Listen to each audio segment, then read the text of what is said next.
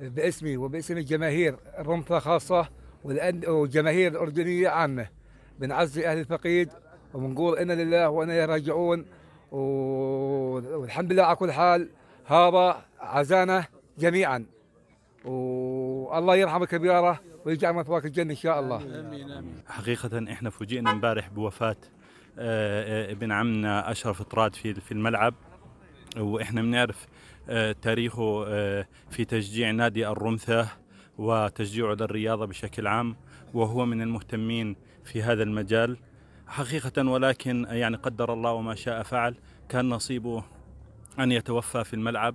الجماهير الأردنية عامة وأخونا أشرف آه، طرادات أبو يارا نقول له عظم الله أجركم يا أهل طرادات وإحنا من جماهير نادي الحسين نعطي تعزينا لأهله لجماهير نادي الرمثة وللجماهير الأردنية. إن شاء الله ربنا يوجهنا بإذن الله.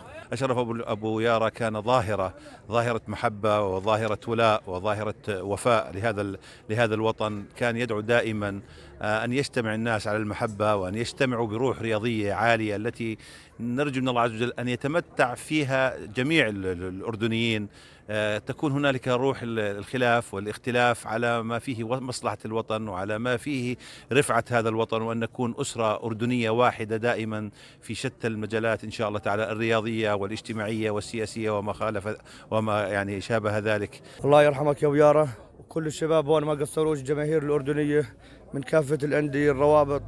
شفنا أعضاء إدارات.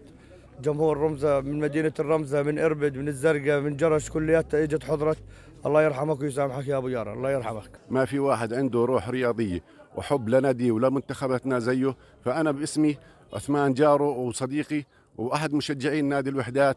إني باسم نادي الوحدات ندعي له الرحمة والمغفرة وأسأل الله إنه يكون أشرف أبو يارا في جنات الخلد وبندعي من جماهيرنا. أول شيء بنقدم عزانا لأسرة الفقيد.